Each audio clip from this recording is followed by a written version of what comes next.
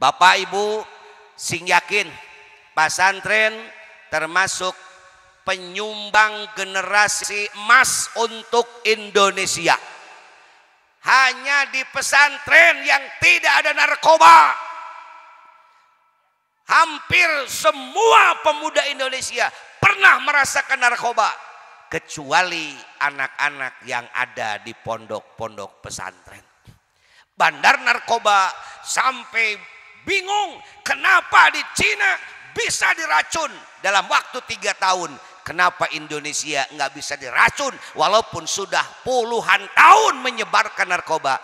Ternyata jawabannya ada pondok pesantren yang menyelamatkan generasi muda dari pengaruh narkoba Makanya saya menghimbau kepada pemerintah jangan pernah menganggap pesantren sarang teroris. Pesantren bukan sarang teroris. Nggak ada teroris di pondok pesantren. Nggak ada sarang teroris di pondok pesantren. Justru pesantren menyelamatkan generasi Islam dari narkoba. Hanya pesantren yang bisa menyumbangkan generasi sehat untuk Indonesia. Hanya pesantren yang bisa menyumbangkan generasi yang berakhlak dari buduk Indonesia. Salah satunya Miftahul Ihsan. Mudah-mudahan akan melahirkan calon pemimpin yang akan datang. Amin. Tidak akan ada yang melatih kiamulail kalau bukan di ribato. Kalau bukan di pesantren. Sekolah sehebat apa pun gak ada yang melatih duha. Gak ada yang melatih doa untuk orang tua. Coba lihat di Miftahul Ihsan kalau Bapak Ibu nggak percaya coba malam hari kira-kira jam 1 jam 3 atau jam 4 datanglah ke masjid Pondok Pesantren Miftahul Ihsan. Anda akan melihat anak-anak kita sedang berdoa. Di mana doa itu apa yang dipinta? Yang pertama yang dipinta Allahumma gfirli dunubi wali wali daya. Anak kita yang di pesantren Pertama kali yang ia minta, ya Allah, ampunilah dosaku dan dosa kedua orang tuaku. Ini yang pertama kali dipinta oleh anak kita di pesantren. Di saat anak-anak lain masih tidur, orang tuanya pun kadang masih tidur, di rumah ibunya masih tidur, anak kita di pesantren sudah bangun dan sedang berdoa mohon ampun untuk kedua orang tua. Kira-kira sekolah yang gak ada pesantrennya ada yang bisa melakukan itu nggak?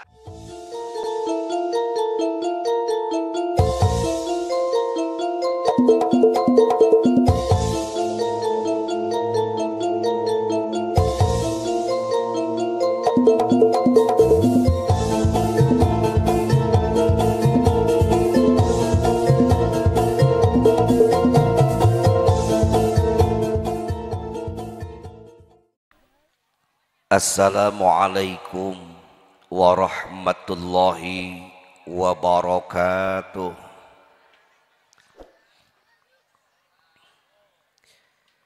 Alhamdulillahilladzi faddala bani adama bil ilmi wal amal.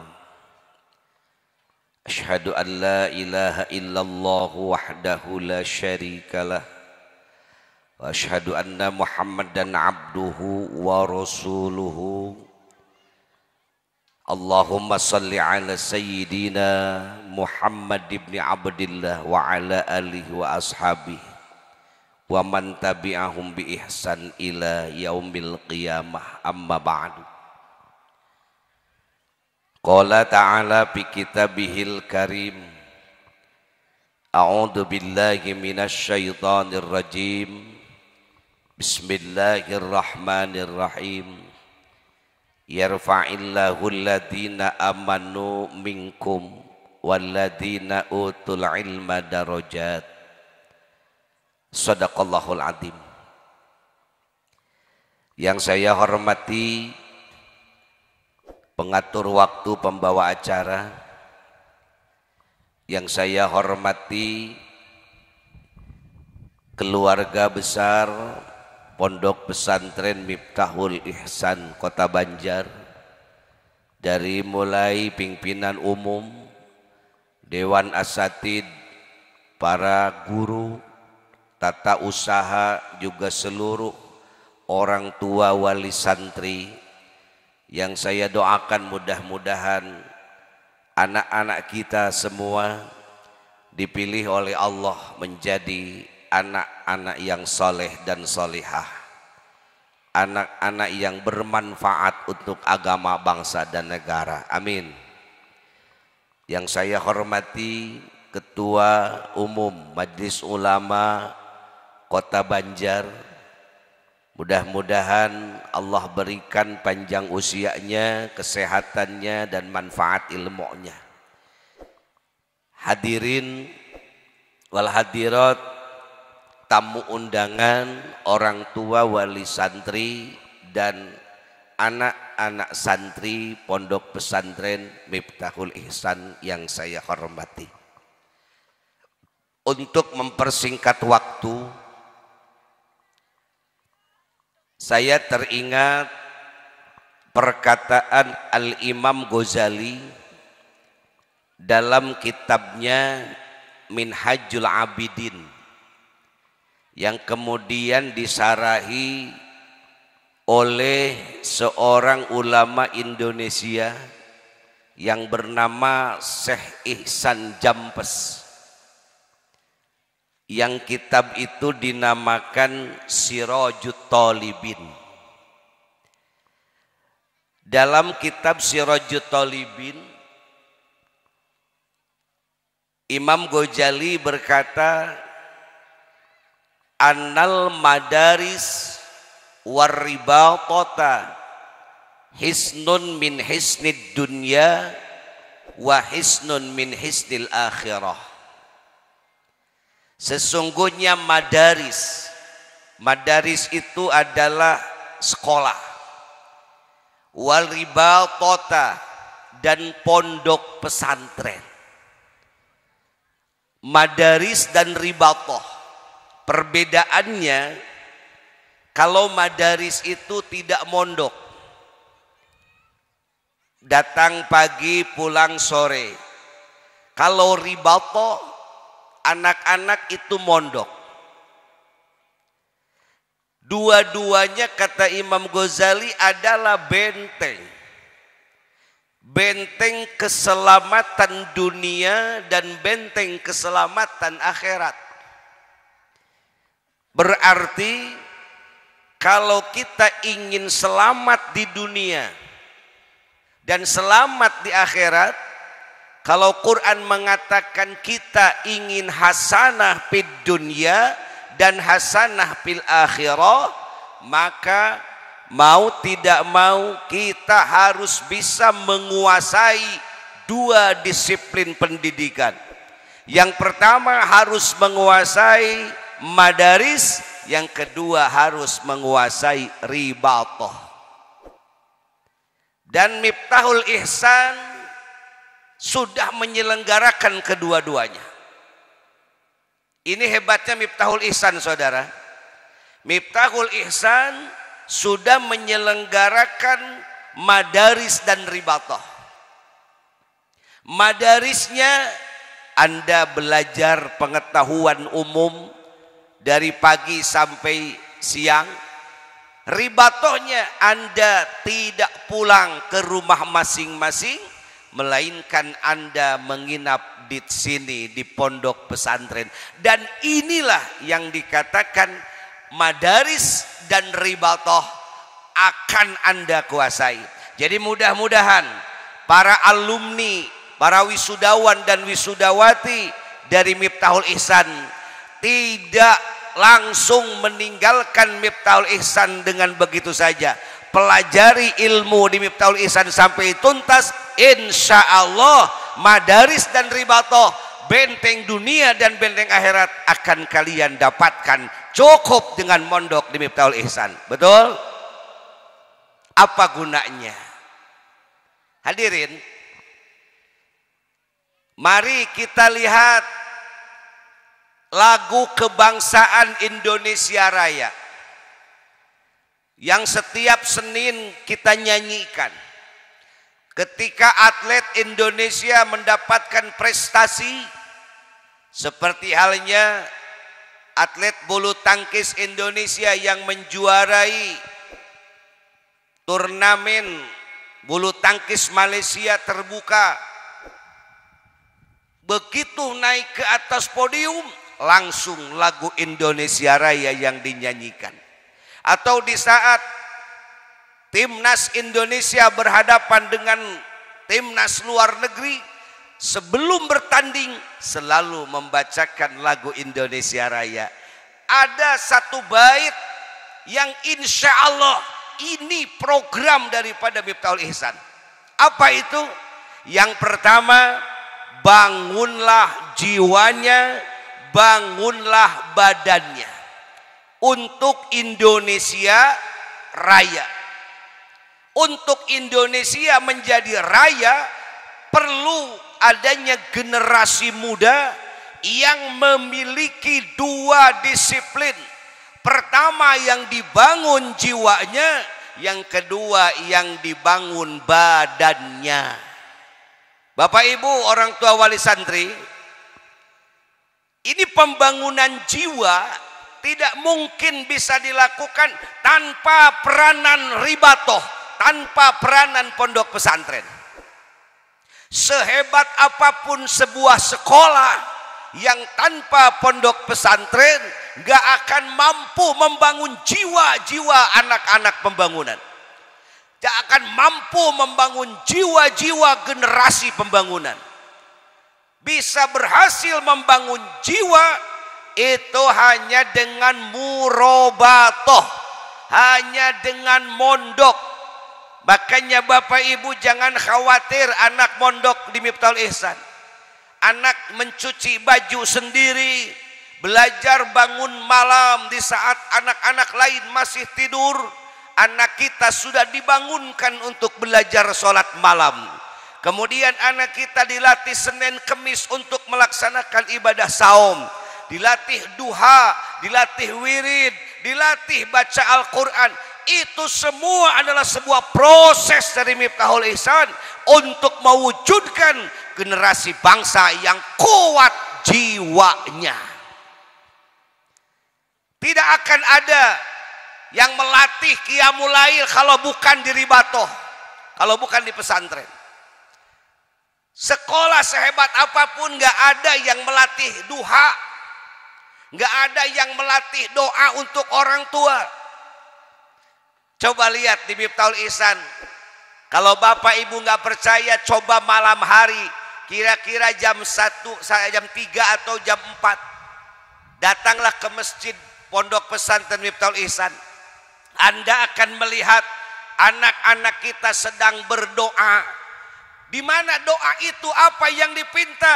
Yang pertama yang dipinta Allahumma gfirli dunubi wali wali daya anak kita yang di pesantren pertama kali yang ia minta ya Allah ampunilah dosaku dan dosa kedua orang tuaku. Ini yang pertama kali dipinta oleh anak kita di pesantren di saat anak-anak lain masih tidur orang tuanya pun kadang masih tidur di rumah ibunya masih tidur anak kita di pesantren sudah bangun dan sedang berdoa. Mohon ampun untuk kedua orang tua. Kira-kira sekolah yang gak ada pesantrennya ada yang bisa melakukan itu gak? gak ada. Itu salah satunya ada di Miftahul Ihsan insya Allah mudah-mudahan Allah berikan kemudahan amin hadirin ibu jangan khawatir anak yang mondok anda harus lebih khawatir ketika anak Anda tidak mondok. Jangan merasa kita termarginalkan di saat anak kita lulusan pondok pesantren. Banyak orang tua yang minder kalau anaknya lulusan madrasah. Banyak orang tua yang minder kalau anaknya lulusan pondok pesantren. Banyak orang tua yang merasa minder kalau anaknya lulusan hanya dari sekolah yang di pesantren. Mereka bangga kalau anaknya lulusan dari perguruan tinggi kenamaan, apalagi kalau sudah perguruan tinggi bonafide, perguruan tinggi luar negeri.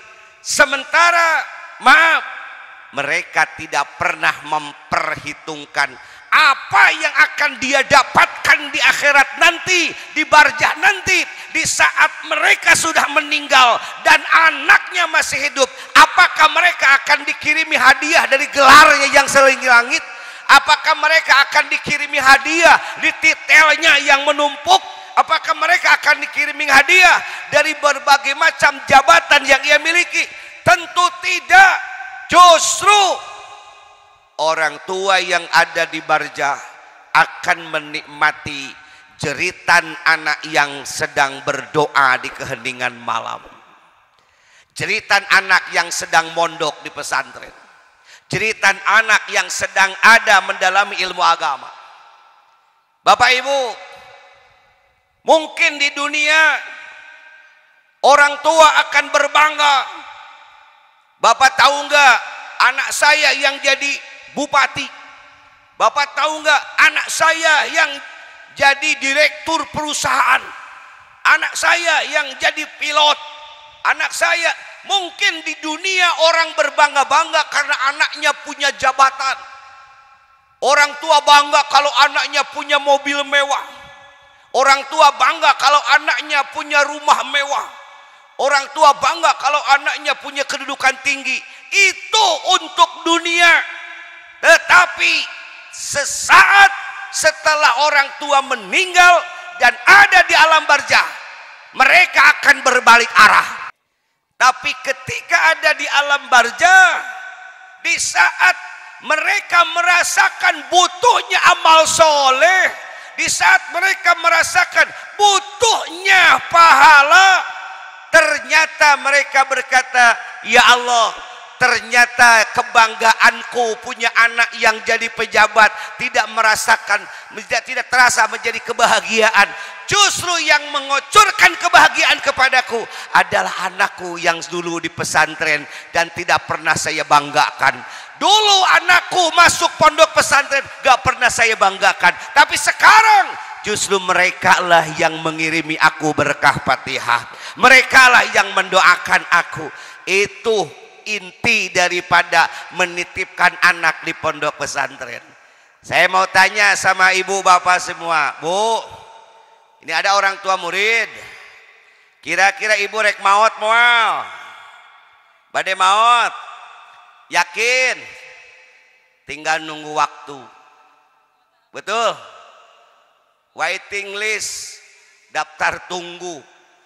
Tapi yakin pasti kita diberangkatkan Pasti begitu ada di barjah apa yang akan mengalir ke kita. Kata Nabi, hanya tiga hal yang akan mengalir. Yang pertama apa? Sodakotin, jariah, wakaf dan jariah. Sudah punya ibu wakaf. Ibu bapak sudah punya jariah Berapa hektar yang sudah ibu wakafkan untuk bekal nanti di alam barjah? Berapa juta, berapa miliar ibu sudah membiarkan diri untuk bekal ke alam barjah? Udah belum? Belum. Kalau begitu jangan dulu mati. Karena kita belum punya bekal. Yang kedua adalah wa ilmin yuntafa'ubi. Ilmu yang bermanfaat. Coba saya kata sama ibu bapak semua, apakah punya murid, punya santri, punya alumni yang menjadi manfaat ilmu karena kita yang mengajar? Tentu nggak semua kan? Nggak semua. Ya Alhamdulillah kalau seperti hanya guru kita punya murid, muridnya punya murid, muridnya punya murid. Inilah yang sang seaslinya dikatakan multi level marketing itu di sini. Multi level kita ambil contoh satu saja. Wajengan Manonjaya punya alumni kan di mana-mana. Alumninya sudah punya murid lagi, sudah punya murid lagi, sudah punya murid lagi. Insya Allah setiap murid yang mengamalkan ilmu Miftahul Huda almarhum wajengan kabagian pahalana. Abdi wae meureun ieu teh incu disebut nanti Miftahul Huda mah. Miftahul Huda melahirkan guru simkuring. Ti guru simkuring melahirkan salah sawiyosa simkuring. Simkuring ge geus boga alumni termasuk Ustad dah titin itu gitu gitu ge ti inaya Ustad Lili ta. Itu teh incu meureun ti ditutuh ti. Buyut. Buyut Miftahul Huda Lili kayak semoga dari murid sakieu lobana. Yakin setiap kebaikan anak murid kita wah jangan menikmati bonus daripada kebaikannya. Ini multi level yang sebenarnya. Nah kalau kita nggak punya, jariah kita nggak punya, ilmu kita nggak punya, berarti harapan kita yang akan mengalir satu-satunya ke barjah adalah doa anak yang soleh. Dan ini yang harus kita kejar. Di mana? Salah satunya mondokkan anak anda di Miftahul Ihsan. Insya Allah akan lahir generasi-generasi yang soleh. Generasi yang solehah. Jangan khawatir saudara. Itu yang akan anda nanti rasakan. Sekarang di dunia anak berbangga dengan anak yang punya jabatan. Tapi di barjah nanti Anda akan bangga ketika punya keturunan baca Al-Quran. Masya Allah, lamun teboga nutilu ya. Jariah teboga ilmu temanfaat anak eueuh nu soleh pepeujeuh tong kapae naon pibalangsakeun. Balangsak geus kabayang hirup loba dosa jariah tara ilmu teboga anak eueuh nu cereng. Sedangkan ari masuk ayu alam barjate perjalanan yang sangat jauh. Yakin jauh? Yakin. Daun nu balik deui berarti bakat naon? Bakat jauh. Ai perjalanan jauh perlu bekal yang banyak perlu. Kalau orang melakukan perjalanan jauh tapi tidak membawa bekal namanya bukan berani tapi jelema nekat.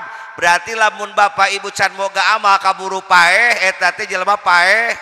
Nekat bagja can puguh doraka heueuh disiksa we geus siap-siap. Nuhun sing reueus boga budak pondok di pesantren. Bu Abdi Gesarua sanajan tesa ageng Miftahul Ihsan. Miftahul Inayah gesami pesantren. Abdi sok ningali anak-anak batur di PHP di abdi. Dipaksa ku pengurus kudu hudang. Apa doa yang pertama? Begitu bangun tidur tului kacarai tului di baju tului ke masjid beres salat sunat keluar bahasa langsung permintaan maaf untuk orang tua. Sok terus kasih neng neng si asep asep tahanu ayuna di isan betul gitu teh neng? Doa pertama di keheningan malam naon nupang helana di penta? Minta ampunan kepada Allah untuk kedua orang. Indung nama kersare kadang-kadang kita tadi imahna.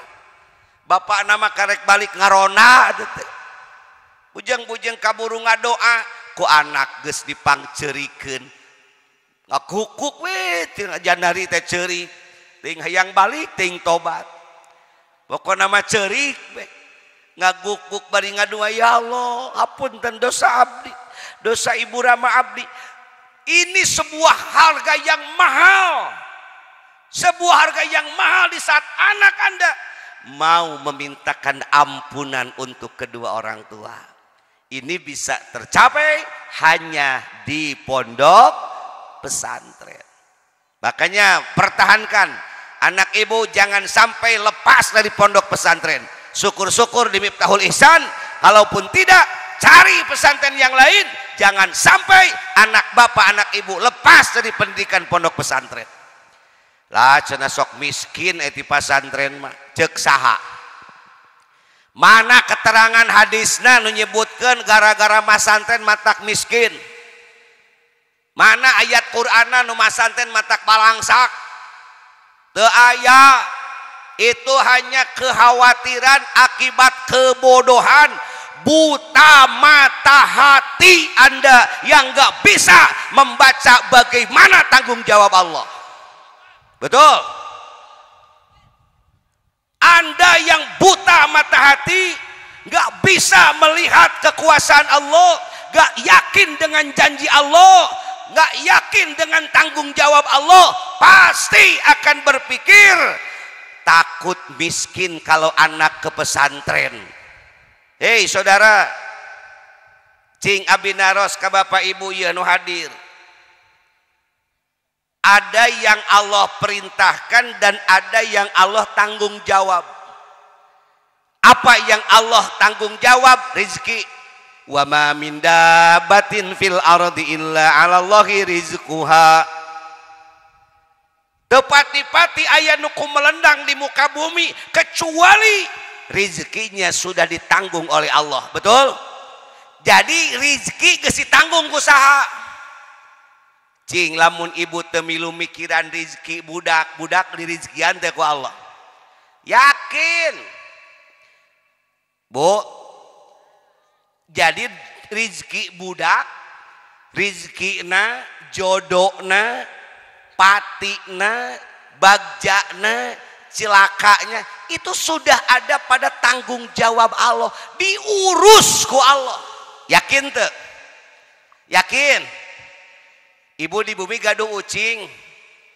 Hari rup tuh hari rup eta ucing pernah kuliah. Boga gelar. Tetapi ku Allah dirizkian hirup. Bukan kebon. Gaduh tabungan di ATM apa bukan gaji? Ternyata kucing pun bisa hidup. Kenapa? Karena Allah yang menjamin. Padahal nggak punya ijazah Tara aya ucing mikiran kuliah. Duh cenah ida ucing geus gede ieu kudu ka mana ieu sekolah. Supaya menang ijazah jangan neangan lapangan kerja. Tara mangkaning ucing mah ogoan. Ai mandi tara si beungeut ke cadu ai dahar kudu lauk we jeung lauk. Itu kucing saudara.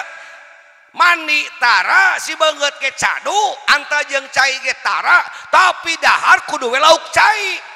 Ini pelajaran bagi kita sebenarnya. Ini pelajaran bagi ulil albab. Apa itu? Ternyata kucing pun ditanggung jawab ku Allah. Tepaeh kalaparan. Sana jantung bisa ngobeng sana jantung bisa ngahurap sana jantung bisa ngusup tapi teburung manggih we lauk kenapa Allah yang mengatur? Kunaon ucing wae bisa tawakal ke Allah percaya. Ai manusia betul bisa tawakal. Nuku Allah geus diuruskeun. Ulah sok miluti hot hat nguruskeun. Apa yang sudah Allah tanggung jawab jangan terlalu kita berpikir keras. Kenapa? Udah ada yang ngurus ngurus lagi Allah. Percaya ke Allah tuh yakin? Can yakin euy masih kene ketinggal ngambang. Bu osok ka dokter? Osok. Lamun ku dokter diberi obat ibu sok pernah nanya teu ka dokter dok henteu lepat ieu obat? Tara langsung percaya. Begitu cek dokter makan ya bu. Pagi-pagi satu sore satu malam satu. Osok bertanya yang teng lepat masian obat dok? Tara. Langsung we diinum dah percaya kasaha ai dokter jelema apa Allah jelema ai dokter bisa poho. Ai dokter bisa sare. Dokter bisa kaliru.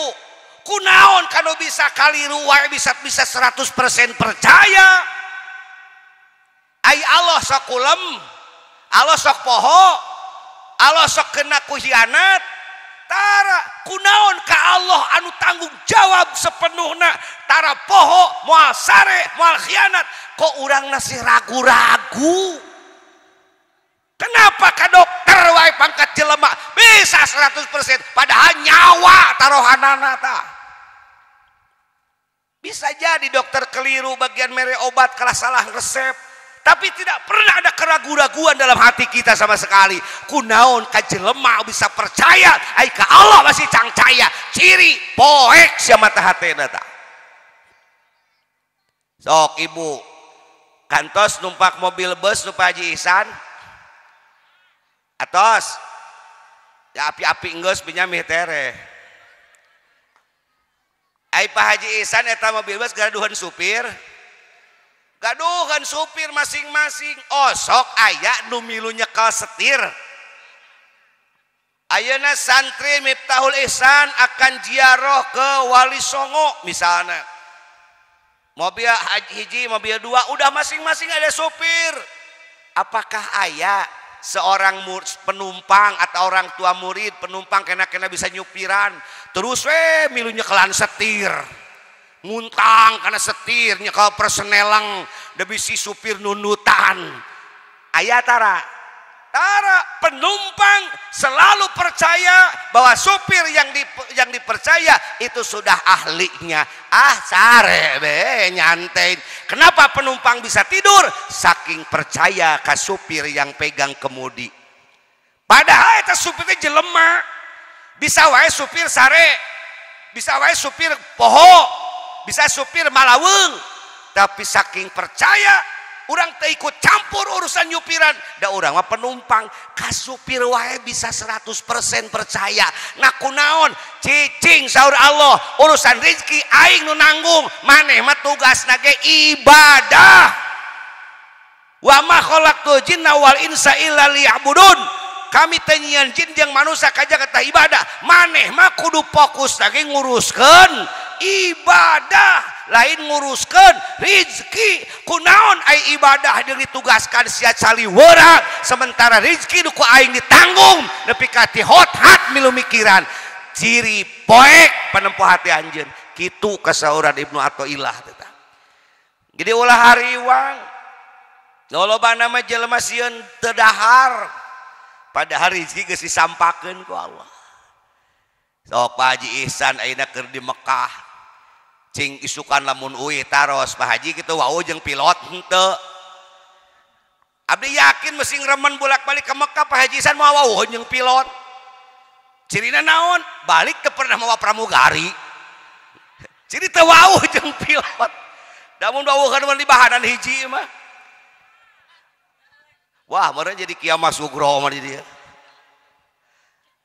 Kenapa ketika orang masuk pesawat begitu duduk di kursi pesawat enjoy bisa tidur padahal nggak kena sama pilot. Gaya pikiran saetik kumaha lamun ku pilot dibawa ke Aljazair kumaha lamun ku pilot dibawa ke Afrika. Apa iya pilotnya geus lila gitu digawena apa pilot geus bener ujian anak eueuh pikiran saeutik ketik acan. Percaya we! Kena kena geus seragam heeh sena kapal percaya pilot pasti bisa. Kenapa si Aika jelema bisa gitu? Aika Allah nu maha kawasa Allah nu maha kaya Allah nu maha bisa Allah nu maha segala-galanya. La takhuduhu sinatu wala naum la yukhliful mi'ad.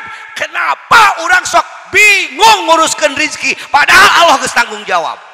Tugas kita adalah sempurnakan ibadah sempurnakan anak orang sih bisa ibadah waris anak orang ilmu agama untuk menyempurnakan pengabdian ke Allah. Soal rezeki mau lapar yakin Allah tanggung jawab. Araya sok pun ayah pikiran negatif. Geus neng ulah ngaji wae geura diajar gawe. Yus jangan ulah Mas santren. Gera buburu kemana boga pamajikan boga parabanen boga usaha kenen nek di mana maraban. Ciri eta jelema teh teu percaya ka Allah. Beka buka gera mata hatena lolong gitu teh. Poek gera sakola kapiit eleh ku ucing. yajang nu santren ulah ulah letik hate. Akang ge sarua keur di pondok pernah goyang. Bebeja kepun guru kunaon pangna goyang? Di lembur hayeuh we digigi banget geus cenah ulah masantren bae gerang ngurus diajar usaha. Eta teh kunini ku aki. Da meureun nyaahna kitu ka anak ka incu sieun teu dahar. bebeja ka guru teh. Aya naon? Oyong ngiring diajar di damal bade liren ngaos. Ek eureun. Ek ka mana? Bade digawe milarian pada melan ek neangan naon pada melan hayang artos eta guru nyebutkeun. Mane 10 tahun digawe di hiji perusahaan kumpulkeun duit menang buburu 10 tahun. Cadu mun pahi pakai meli mobil. tapi maneh Mas santen kumpulkan ilmu 10 tahun sok kumpulkan 10 tahun ilmu maneh. Maneh balik ke imah manfaat boro-boro mobil imah bakal kabeli ka Mekah bakal mangkat. Eta motivasi di guru maneh buburuh nu deket lah ka BKS jadi deket di dia maneh buburuh di BKS 10 tahun sok kumpulkan duit saban-saban gajihan. Sesa dahar sesa bensin saya kumpulkan muamahi dipakai beli mobil cenah kitu cek anjina 10 tahun. Dihitung ku abdi nya muamahi tapi lamun maneh mah santren kumpulkeun ilmu 10 tahun. Sarua 10 tahun. Maneh bakal kabeli boro-boro ukur mobil. Imah boga ke Mekah nepi. Digugu mohon Kang Haji mangga abdi muacios liren pernah goyang heula abdi. Ngaji alhamdulillah. Gening bener omongan guru. babaturan manuturus bijil buburu 10 tahun bahkan nepi ka ayeuna buburu terus teu boga imah-imah acan boro-boro ka beuli mobil. Teu boga imah-imah acan. Sim kuring nunurut kanu jadi guru cicing cek guru. Maneh ilmu 10 tahun pakai ngawuruk manfaat. Mobil boga ke Mekah nepi Alhamdulillah. Pernah deh goyang gogoda itu dihina diledek kumitku cago dulurna calon mitoha. Dan mitoha abi mah orang dia deket tah orang raksabaya orang Cimaragas beh kidul. Da lain orang abi mah lain tamu di dia teh pangulinan. Emu teh pan santriah teh tiluan ti lembur eta teh. Nu hiji kawinna teh kepelayan toko. Lu di alam-alam eta kulingkungan cena gede milik si anu mah boga salakina ke pelayan toko. Geus mapan moal ngariweuhkeun kolot. Anu hiji deui kawin ka tukang kiridit. Di Madura. Nyebut teh si eta mah cenah gede milik. Boga salakina geus boga gawe bisa dagang ai pun bojo kawin ka santri eta pokna. Kawin ka santri mah cenah sok ngariweuhkeun kolot. eta nyeri hati bari emosi teu bisa gitu tah. Dah oh iya urang kumaha deui. Ah di bismillahan we Gusti eta omongan jelema lamun ngahina ka abi abi ridho tapi lamun ngahina kana janji Gusti ngahina ka Gusti abi terido buktikan bahwa abdi alumni pesantren moal nyusahkeun jadi kolot. Begitu akad tikah poe kemis dicanak pindah Kang langsung ke Banjarsari poe Sabtu. Kemis Jumat Sabtu bawa pindah bakat naon? Embung ngadenge omongan sedang ngariweuhkeun kolot. Baru ingat eta bahasa. Pika rumah tangga. Ya Allah nya kolot nomornya ah. Aing nganjang teh kaditu nuar cau. Aing gesek balik ke jang cenah bawa cau ah, amual Pak. kunaon gitu aya di bumi ge pada asian kitu cenah. Kawin ka santri mah cau ge dibawaan misi kitu geuning. Jadi abi teu teu mawa. Ai bapa teh laila teh kunaon budak diberena naon teu daek dibawa di bere pare sakarung. Ye cenah bawa ba abi ge gaduh. Padahal lain mung dibere ku kolot kan eta masyarakat panerempokeun. Pikiran abdi tuh cina buka penantu ka santri mah pare ge. Ti kolot hayu mawaan. Batak abdi terus terang wae teu pernah. Nepi kapun bapak meuli motor titah diajaran hayang kuminantu teu pernah abdi bakat kok situ motor lagi diajaran motor lagi dipapake tak gara-gara kawin ke santri. Bapak betus-betus teh abdi geus lila. Abdi kabeli mobil Abdi mawa ka dia cau ditaikeun teu kanyawan oi geuning aya cauan aduh pak geuning aya cauan ieu ngahaja bongan cenah di tebejaan metra dibawa ku kunaon di abdi teh pak isin keur anyar nikah baheula kawin ka santri mah sok ngaripuhkeun kolot abdi teh sieun mulain abdi teh suka kana pamasihan bapak ngan bisi kieu tuh tempo cenah nu boga minantu ka kieu ka santri mah cau ge dibawaan Abi teh matak taranyana lah denge-denge teuing cenah omongan batur. Nya nya nama tapi da anger aya teh mah kitu. Abi membuktikan saya tidak akan meminta ke orang tua alhamdulillah nepi ka ayeuna can pernah. Bahkan nu aya makalah tibalik sakapeung mak pun biang pun Bapak sok dianteran ku Abdi. Hang aja lain man. Amih kate lain teu ikhlas ikhlas urusan hatenya. Ngangkat derajat santri bongan sok disebutkan ngaripuh kolot. Diberek abdi. Nepi ka didaftarkeun ka Mekah tinggal ngadaguan waktu rek mangkat. Eta nu, nu kawin ka pegawai toko dipecat di toko teh. Bangkrut. Anu kawin ka tukang kiridit eureun ngiriditna bangkrut. eta motor mitoha Abi digade ke tukang kredit eta. Lain ku minantuna geuning. Begitu bon bapak maot di papai di mana BPKB bagi waris. Digadekeun cenah KBRI kusa ku si anu hana geuning bos kredit ngagadekeun. Pan bakal di alam-alam ceng teh geuning waling abdi ge minantuna teh sing wani boro-boro ngagadekeun make ge aing tara. Ada emosi abdi teh kitu namanya bukan disebutkeun kitu. tapi yakin berubah pujian tapi balik Ayo nama.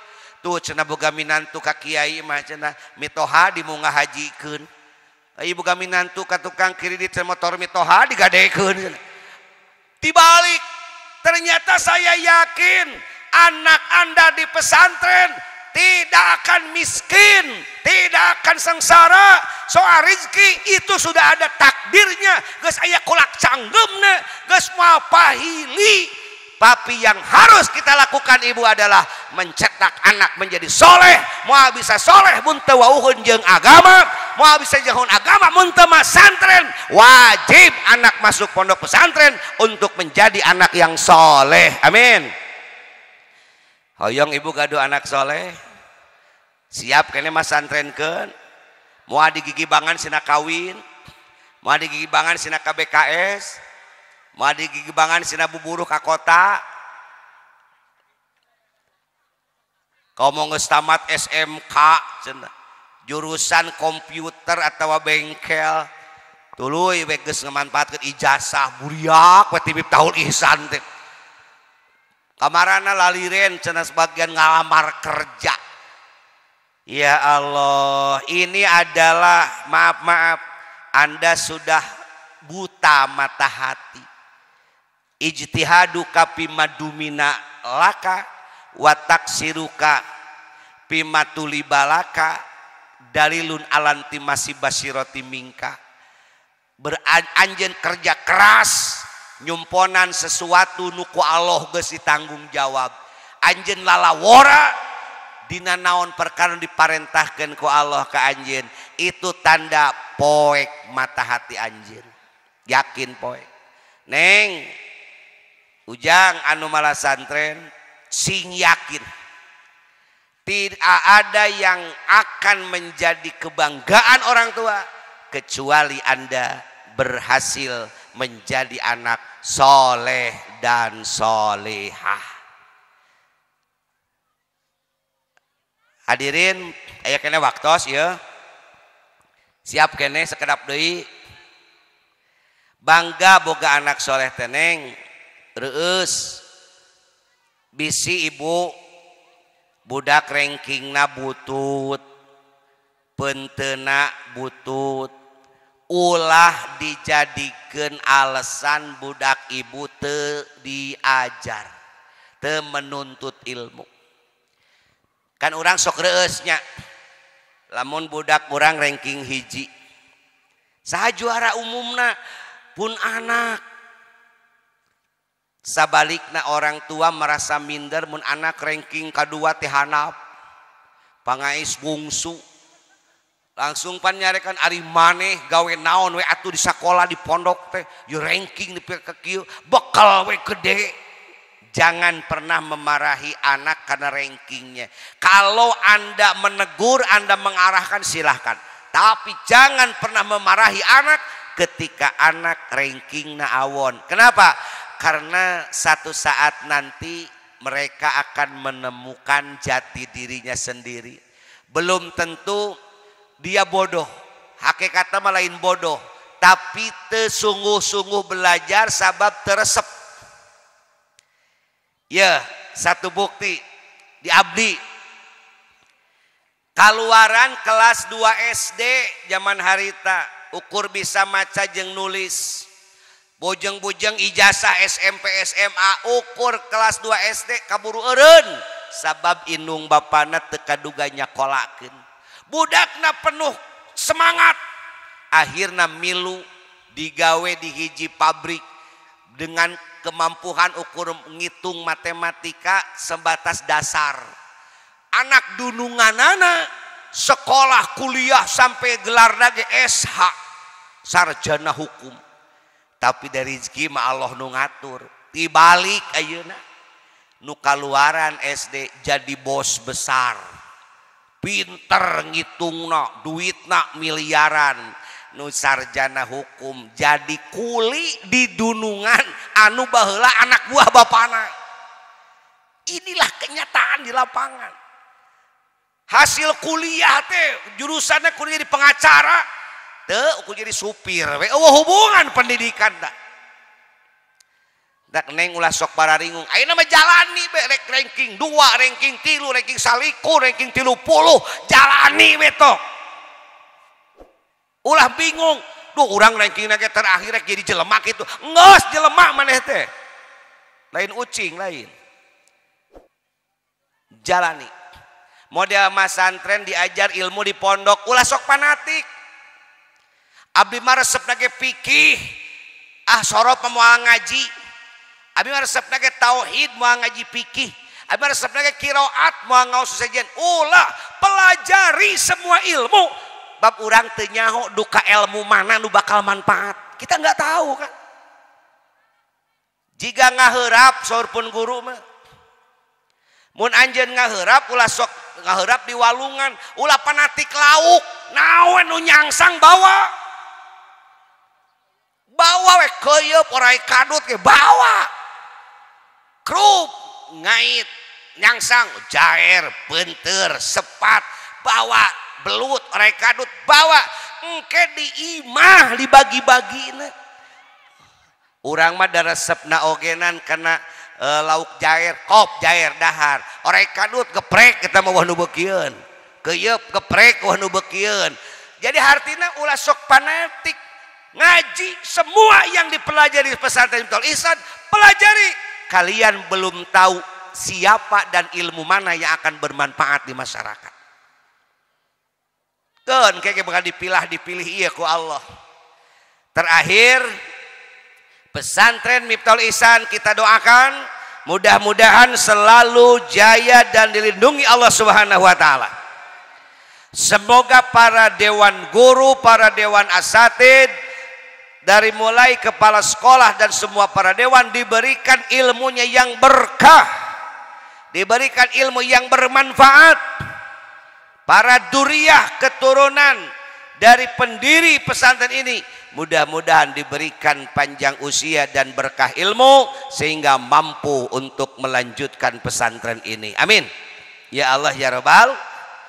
Dan untuk anak-anakku yang mondok di sini baik yang mau keluar mudah-mudahan Ananda bisa menjadi anak-anak yang sukses dunia, sukses akhirat. Bangunlah jiwanya dengan pesantren, bangunlah badannya dengan pengetahuan umum. Jadilah anak yang memiliki dua benteng, yaitu hisnun min hisnid dunia wa hisnun min hisnil akhirah. Yaitu dengan membangun jiwa dan membangun badan. Insya Allah dengan pesantren dan sekolah yang di sini diselenggarakan, kalian akan mampu untuk menghadapi tantangan di masa yang akan datang. Bapak Ibu, sing yakin pesantren termasuk penyumbang generasi emas untuk Indonesia. Hanya di pesantren yang tidak ada narkoba. Hampir semua pemuda Indonesia pernah merasakan narkoba kecuali anak-anak yang ada di pondok-pondok pesantren. Bandar narkoba sampai bingung kenapa di Cina bisa diracun dalam waktu tiga tahun. Kenapa Indonesia nggak bisa diracun? Walaupun sudah puluhan tahun menyebarkan narkoba ternyata jawabannya ada pondok pesantren yang menyelamatkan generasi muda dari pengaruh narkoba makanya saya menghimbau kepada pemerintah jangan pernah menganggap pesantren sarang teroris pesantren bukan sarang teroris nggak ada teroris di pondok pesantren Gak ada sarang teroris di pondok pesantren. Justru pesantren menyelamatkan generasi Islam dari narkoba. Hanya pesantren yang bisa menyumbangkan generasi sehat untuk Indonesia. Hanya pesantren yang bisa menyumbangkan generasi yang berakhlak dari buduk Indonesia. Salah satunya Miftahul Ihsan. Mudah-mudahan akan melahirkan calon pemimpin yang akan datang. Amin.